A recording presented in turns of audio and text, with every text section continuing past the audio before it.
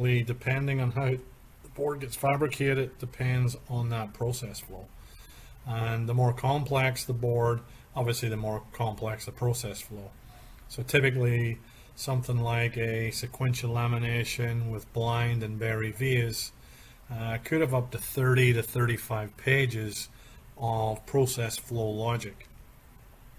So what the fabricator does from this process flow logic, he's going to develop a traveler or a route card that basically tells the shop floor uh, the flow of the process and he may have special instructions in there as to what's actually required.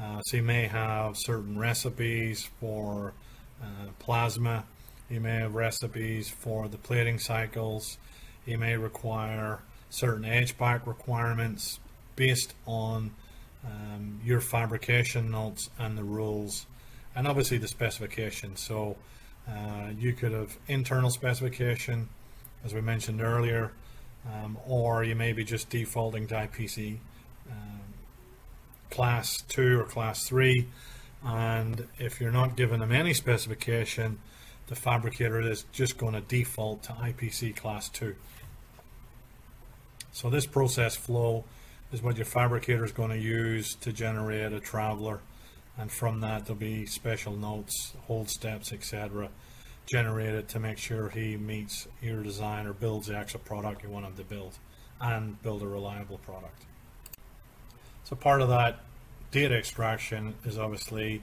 uh, critical dimensions. Uh, there, there could be reference holes or reference fiducials on the board itself. It could be an array form, uh, so it's where the tabs are actually placed uh, in the array itself. And this could be critical if there's edge plating, because the designer may have critical areas that need edge plating that he does not want a tab to actually be placed. Um, so things like that need to be discussed. Or indicated on the fabrication drawing notes, which, which areas are critical on the design itself. I mentioned earlier about panelization. This is critical to the board cost because the fabricator is going to make a fabrication panel and that's typically an 18 by 24 inch and he's going to have areas around the board that he needs to uh, put targets, fiducials, uh, any test coupons that he actually needs to uh, use for verification. And the board you see at the bottom